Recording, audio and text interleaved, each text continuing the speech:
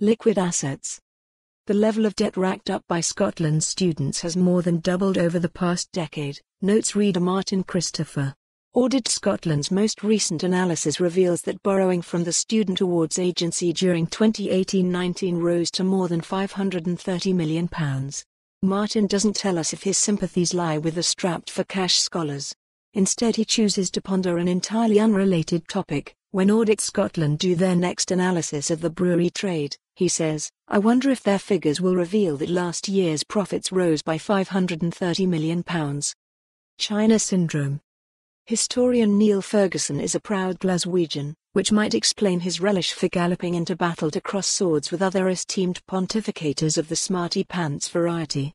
However, his latest adversary might prove to be the great man's undoing. Niall has dared question the pronouncements of the world's mightiest green warrior. Commenting on which countries are most responsible for world pollution, Niall wonders, when is Greta Thunberg going to acknowledge explicitly that by far the biggest culprit is China? Greta may be small in stature, but she's got more fizz than a dropped bottle of Irn Bru.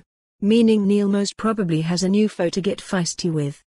And if Greta doesn't fancy a grapple match, our local boy will have to leap into the intellectual ring with the entire nation of China. Still, there's only 1.428 billion of them. Ne problemo for a scrap happy chappy Fragelska. Rude awakening. Working as a teacher, Paul Katopasi from Bonnybridge once picked up a copy of a choice of Burns's poems and songs by Sidney Goodsir Smith, which had been discarded by the school library without ever being signed out by a pupil. Had they known it contained a section from the Merry Muse of Caledonia I suspect it may well have become a much thumbed copy, says Paul. Especially the last ten pages, which include an adult version of John Anderson, My Joe amongst others showing commendable literary taste when it comes to saucy scribblings, our man adds, I still have the book. Dead entertaining. The diary loves a good book with a pun for a title. We even love terrible books, as long as they have a pun for a title. Which is why we can't wait for the publication, later this year, of Glasgow-based writer Peter Ross's A Tomb with a View.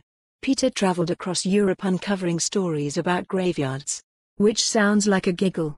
If you're a gothic loving ghoul, Kidding aside, the book promises to be an entertaining and informative read. One for Dracula's bookshelf, at any rate. Choppy Chap. Philosophical question of the day. Grant Murray asks if a tree falls in the forest and nobody hears it, does that mean his illegal logging company is a success? Read more, The Phony War, as recalled by Bob Cramps for more on this story, visit the news article link.